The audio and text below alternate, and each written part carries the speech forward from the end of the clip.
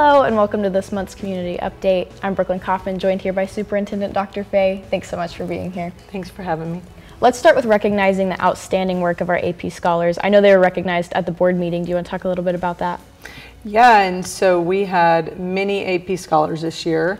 What we recognized at the school board meeting uh, most recently was the juniors uh, from last year, who I think are current seniors, and we had over 110 of them. Yeah. And so that that did not include the seniors who graduated from last year. So I'm sure that we had well over 200 uh, AP scholars, which is amazing. And so I'm very proud of the work that's been done before I got here. So I just hope to build on that. Yeah, that's awesome. I know we now have an online option for students who are compromised or may have someone in their family that is. How exactly does that work? Yeah, so we actually pushed out an application um, a couple days ago uh, that we actually still have open um, for K through six students who are um, who may have a uh, compromised immune system. And there are parameters that the state put around that, uh, but they are allowing up to 10% of our population to be in a virtual setting. Um, I think we only have about 28 students right now that have applied, so I want to make a big push for that on this announcement. Uh, is that if you have um, a child at home uh, that would like to have that option, uh, to please uh, take advantage of that because we are looking at uh, creating a, kind of like a turnkey option uh, so that it's a quality program and, and something that we can learn from um, so that we can build out our own virtual uh, program for next year. And I know um, you may have some questions about that later on in, the, in, in this interview as well. It's actually right now. What oh, about okay. next year? Yeah, so uh, the state uh, created this virtual option that they just unveiled. Um, and of course, it comes with a lot of parameters. And so there are certain options that had to apply based on some dynamics from last year uh, during the COVID year where uh, virtual was pretty much for everyone that wanted it. And so uh, this year there's obviously some parameters. Uh, MISD has chosen to go for K through six uh, only. Um, and interestingly enough, um, we thought we were going to get a whole whole lot more interest in that, and but we haven't. And so we're going to keep our application open.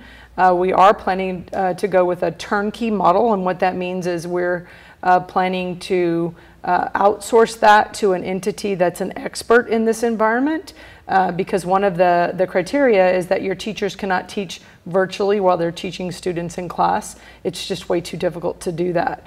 So while we're doing that this year, we are looking to learn some things from that so that we can build out our own K through 12 virtual option for the following year that would be almost like a standalone campus for us um, because the state of Texas has shared that they're going to keep this option open um, until the fall of 2023. And so I think that that's some good, those are good things because there is some silver lining in, in what happened in that there are some, some students who actually learn best in that environment. Uh, I've talked to many of them who really miss that environment, and I've talked to teachers who have indicated that some students actually fared better in that environment versus uh, kind of coming back to this environment. And so, uh, so we're going to be kind of learning from from an expert in this system uh, for the re remainder of our year, and then trying to build something that's uh, with our own staff or our own students uh, for the following year. So I'm excited about that. Yeah, that's awesome. Let's talk about the extra help that some students are getting that might have struggled with the online environment last year. Yeah, so uh, we've all heard of the COVID slide, and I think that the state of Texas is trying to put in many things uh, that will help students. Uh, one of them is, is actually a bill that passed, the, it's called the 4545. MISD has done something really creative where they've created space within the school day, so our students aren't actually having to stay after hours and before school and during the summer. And so our principals have been really awesome in creating space during the school window where kids can uh, accelerate learning uh, based on what they, they lost from last year. And then also what's happening this year is when students have to be out because of COVID related reasons, uh, they, are, they can access a remote instruction environment.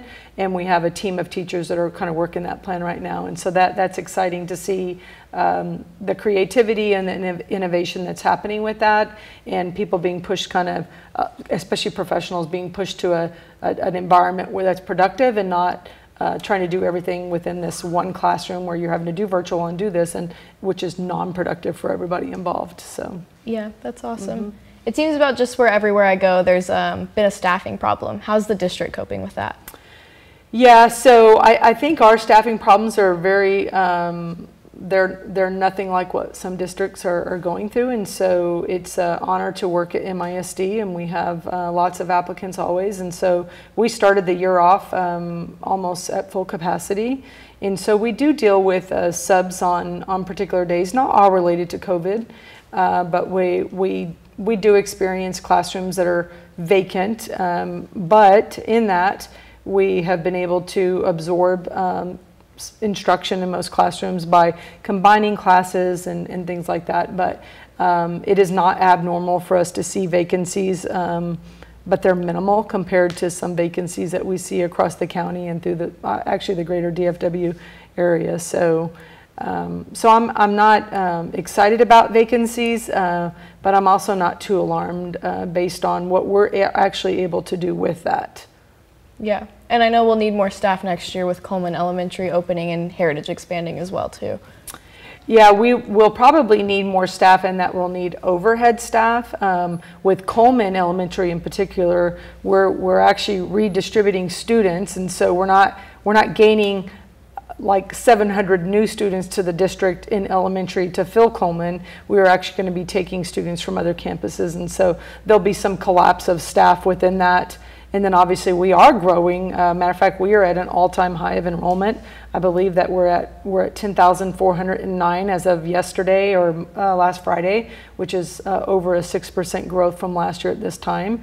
Uh, but for as far as Coleman is is concerned, we have overhead, which is obviously we need a principal, we need secretary, APs, you know, things like that. Heritage is um, also uh, going to be gaining students from the boundaries of, of just the transition of students out of the MHS boundary over into that building when it when it's finally at capacity. And so there will be that kind of sharing of students as well. Uh, but we'll have to add add positions as well there. But but I think that we have a good plan in place, and we were they've been preparing for that in this district way before I got here, and so um, I think we're we'll be okay there. Uh, with those new facilities, there will be campus boundary changes. I know that those maps are on the district website, but how will the current students in those buildings be affected? Um, I, we are putting out, our board did um, uh, approve a grandfather uh, clause um, that was based on if students in certain grade levels actually wanted to stay, uh, that they could they could basically file an application to do so. And the last time I checked, we had about 50% completion rates, meaning that 50% of the, the kids that were in those um, grade levels that could choose to stay, they had filled it out. And what we're seeing is that about 60% of the people that are in those grade levels that could stay, they're choosing to stay. So, for example, if I was an MHS student and I wanted to stay and I was in 10th grade and I was a student that next year would go to Heritage High School, I could choose this year to stay at MHS for my next two years. And so we have about 60% of the people that are actually filling out those applications choosing to stay at their current locations. And with elementary, we're seeing about the same participation rate. We've have about 50% of the people that have completed that, and we're seeing about 50% of the people that actually want to stay in their home campus. And so our board has been very gracious in allowing that to happen, and, and I think those are good things because uh, students establish your friendships and your teams and your, your people, if you will, and, and those are good things. It's hard to make transitions later you know, as, especially as you go through a school where you, you have established uh, relationships across you know, all your programs and stuff. Uh, but then the other thing to think about is because we're experiencing such growth, is that there may be an opportunity for us to look at those um, the numbers within those boundaries again to see if we're actually balanced again. And so that's going to be, we'll, we'll get those uh, geo, what they call a geocoding done, and we'll get that data back sometimes within the next two weeks, and we'll have more, more information after that. But yeah, so as we grow, uh, things change, and it's exciting, but you know, I'm a little anxious about it, I guess. But yeah, I want to make sure that we're balanced and serving kids well. Okay, let's talk about another topic that comes from social media, which would be the food service in the mm-hmm. district. Yeah, so we know that, I know that I put out a letter um, last week to, to all parents explaining some of the things that I think the whole country is experiencing. Uh, there's a lack of, of, of workers, uh, there's a shortage of workers. Um, a shortage, shortage for various reasons. Uh, some I know, some I don't know. Um, we've dealt with uh, where we've actually had to go in and serve lunches, um, myself included, because we we had lack uh, lack of staff. And while that's not a problem, uh, that, um, we don't mind doing that occasionally, but we've had to do that. Um, but there's also a, a, food supply chain issue uh, that has impacted the not that we have food available, but what is available compared to what was supposed to be available. And so uh, Aramark is our provider that, that actually that we outsource our, outsource our lunches to and breakfast to. And they've been really good about um, providing food. It just may not be the top priority food that, that students want. And so we're aware of that and we're trying to work with them and around that, that, that not, uh, what I call nonsense. But, but it really is a bigger issue. And I think that most people, you can go to a restaurant now and, you know, you'll see signs up that say, please bear with us because we're dealing with staff shortages or you wait longer uh, at your table to get your food and you know or we're only serving certain things and and I don't think that um, school districts are immune to that and so MISD is experiencing that same thing and so while we apologize uh, we do want good service for our kids and we have been working with Aramark to make sure that that we're expecting high quality service from that vendor. Yeah. We've heard that you're now out and about visiting classrooms in our district. Do you have any inspiring stories that you'd like to share? Yeah, I do actually. Um, I had gone to, I went to a couple campuses last week, and I'm trying to do uh, at least three to four campuses a week, uh, and I'm asking uh, principals just to, to show me, you know, classrooms. I want to see what students are doing. I want to see what teachers are doing. And I stumbled upon a, a great class uh, last week at Long Branch there was lots of great classes, first of all. But this one class was a kinder classroom. I believe it was Miss Perry's classroom. And the amazing thing about that classroom was that it was they were teaching reading and what I found amazing about it was that the teacher was teaching kindergarten kids about becoming independent readers.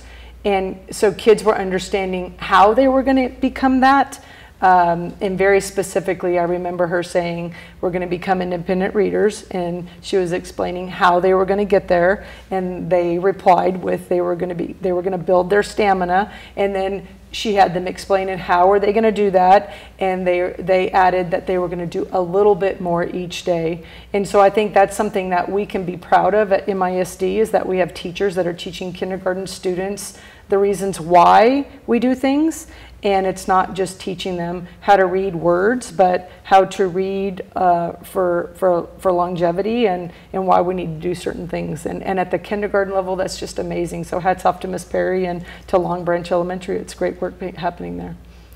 After four months of learning about our district and our community, are you developing a vision that you would like to help build here?